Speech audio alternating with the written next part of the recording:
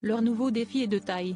Pour la première fois, Emmanuel Seigné et sa sœur Mathilde vont se retrouver ensemble sur scène dans une pièce de théâtre aux personnages légendaires. Dans Bungalow 21, elles incarneront en effet Marilyn Monroe et Simone Signoret. Invitées pour en faire la promotion sur le plateau de Quotidien ce mercredi, les deux femmes se sont montrées complices. Mais n'ont pas pu s'empêcher quelques pics pour Yann Barthès.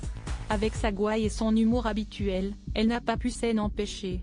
Invitée pour la première fois dans l'émission Quotidien mercredi 7 septembre pour présenter sa nouvelle pièce de théâtre, Bungalow 21, dans laquelle elle et sa sœur Emmanuelle incarneront Simone Signoret et Marilyn Monroe, Mathilde Seigné s'est bien amusée à taquiner Yann Barthès devant les chroniqueurs et les autres invités.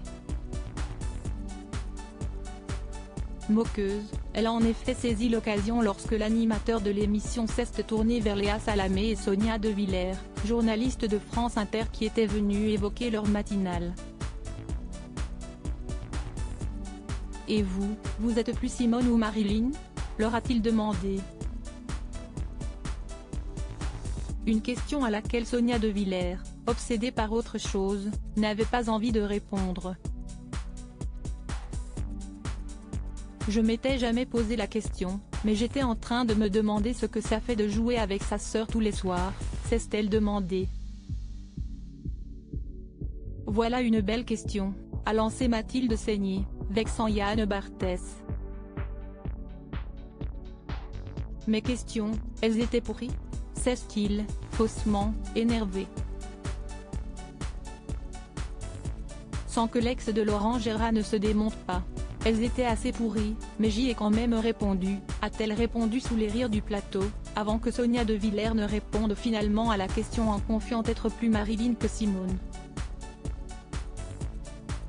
Et qu'Emmanuel Seigné ne réponde à la question de cette dernière quand on est sur le plateau, on travaille et je ne pense pas au fait que si estime ma sœur. Un point de vue confirmé par sa cadette, si est vrai, même si on est deux chippies.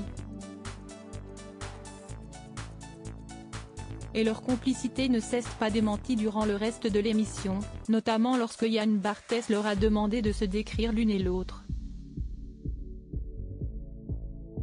Une actrice sauvage et féline qui ne fait que ce qu'elle veut, quand elle veut, d'un grand courage et d'une grande solidité, a décrit Mathilde Seigné en parlant de son aîné.